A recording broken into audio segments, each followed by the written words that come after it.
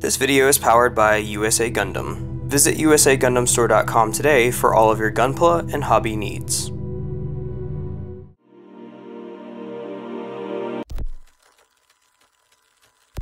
Hey everybody, welcome back to the channel, or welcome to the channel. I'm Gunpla Joey, and today we are going to be taking a look at the newest edition of paints over at USA Gundam, and that is the Sunin 7 paints. And we're actually going to be taking a look at the lacquer paints, and this is the Gundam Colors set, as well as a couple other things that we're going to look at. Now, Sunin 7 actually makes a whole array of paints.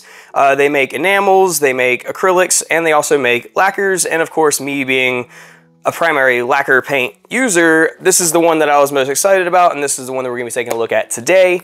Uh, we also carry the acrylics over at USA Gundam, so if you wanted to try those out, you can definitely do that. And at a later date, if you would like me to, uh, I can pick those up and try those out as well. But today we're going to be taking a look at this, so with all that said and done, let's get to it.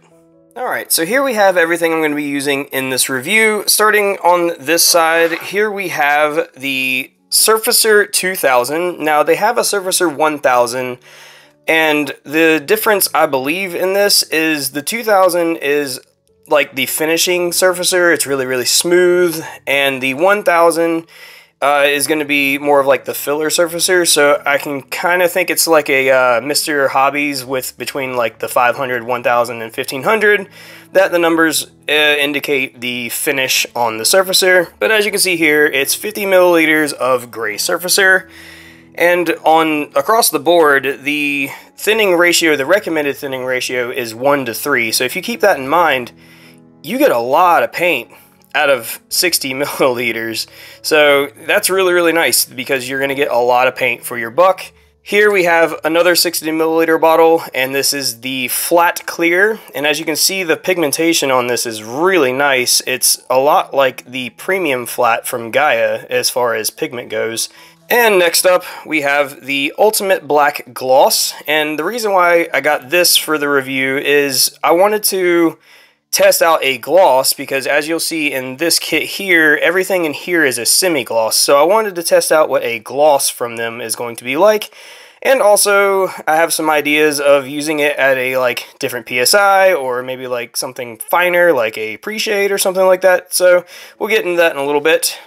And all of these bottles are 15 milliliters. Next, we'll talk about the thinners.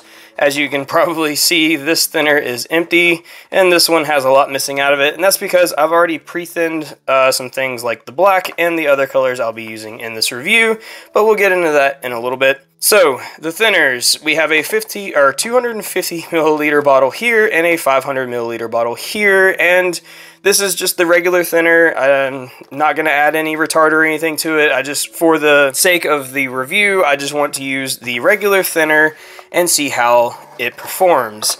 So next, we'll take a look at what's actually in this set. Of course, this set being the Gundam Model Color set with 15 colors in it. So, let's take a look. So before we name off every paint that's in here, I just wanted to show off how they're actually packaged in here. I think it's kind of nice that they're actually packaged this way because it keeps them from moving around too much and keeps them in place. Starting off with the reds in the set, we have MS Char Red, MS Char Pink, so we have both Char colors here, MS Sazabi Red, and as you can tell, this is one of the colors I'll be using in the review. This is just MS Red. As for the blues, we have the AEUG's MS Blue. We have the MS Light Blue. And another color I'll be using for the review is just the standard MS Blue. The color set comes with one yellow, and that is MS Yellow, and as you can see, I will be using this color. We also get a purple. This is the MS Purple, and it's a very pretty shade of purple. I really like this. As for the greens, we get MS Green, and we get MS Deep Green, which is just a darker shade, as you can see, of this. So these would be really good uh, Zaku 1 or 2 colors. We get one white, which is the MS White, which I will, as you can see, be using in this review. And finishing things off with the grays, we have Zeon's MS Gray here. The last of the colors I'll be using, which is the MS Phantom Gray. And the last of the set, we have UNT's MS Gray Metallic. So later on, I'll probably do a metallic uh, review, but as for this review, I kind of want to keep it basic. So there you go. So here we have all of the colors all thinned out in these really nice 80 milliliter Mr. Hobby glass bottles. I love these things. If you guys want an easy thinning experience and something really nice to store your stuff in, I highly suggest these Mr. Hobby spare bottles. They also come in 40 milliliter, and of course you can get those over at USA Gundam. But here we have all of the colors, and what I want to do is spray some spoons. So first we'll start with, of course, the surfacer, then we'll move over to the colors, and then we'll move over to the gloss black. And I want to do two spoons of gloss black so we can use the flat coat on one of the spoons of gloss black to really show that change, to show off that really nice gloss to flat transition, and also I think it's a really good way to show off the quality of the flat clear. But you know me, that's not where this is going to end. Uh, I don't like to just show off spraying spoons. Spraying spoons is going to be really good for showing off that solid color, but I want to go that step beyond and spray, as you can probably see by the color palette, a RX-78. This is the entry grade RX-78, and I think it, to show a more real world application, it'll be nice to show this being painted with these paints.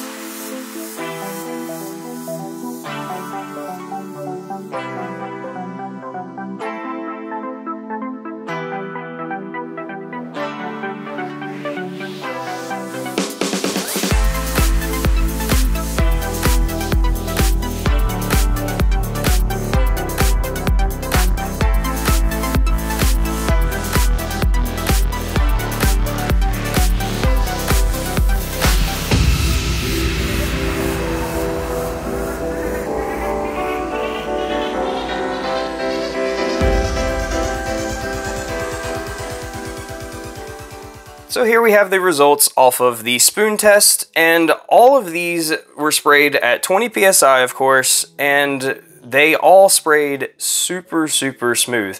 Um, the 1 to 3 ratio, in my opinion, is kind of the perfect sweet spot for that.